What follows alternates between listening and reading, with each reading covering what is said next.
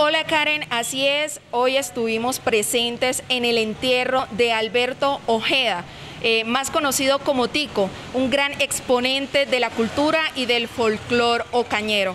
Los amigos y familiares se reunieron acá en la funeraria Páez para rendirle un homenaje a este a esta gran persona que recuerdan con mucho cariño. Y hemos preparado esta nota para ustedes.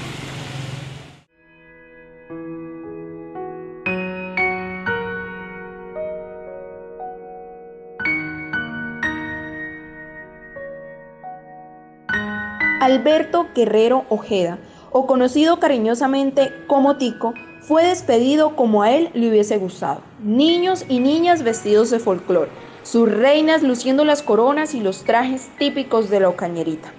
Hoy, familiares y amigos sienten la partida de un gran exponente de la cultura ocañera.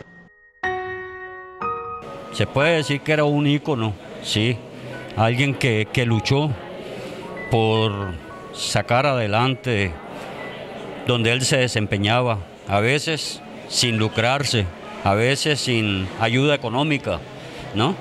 Pero era su pasión, eso era lo que le, encantaba a él y por eso era que se desempeñaba de esa manera.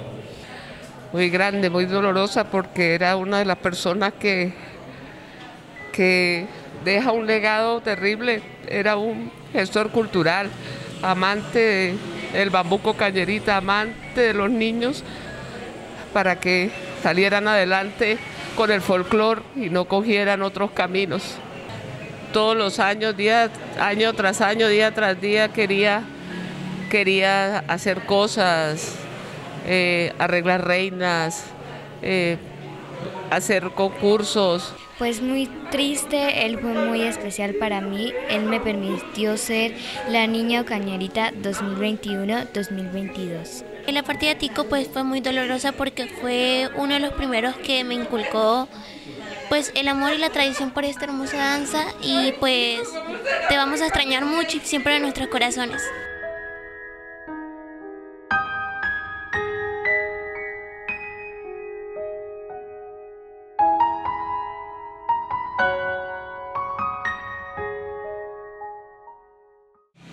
Así, con trajes coloridos representativos de la niño cañerita y la presencia de grandes personajes de la cultura del municipio de Ocaña, es despedido Tico, un gran eh, hombre que ha dejado un largo legado a la cultura y al folclore en el municipio.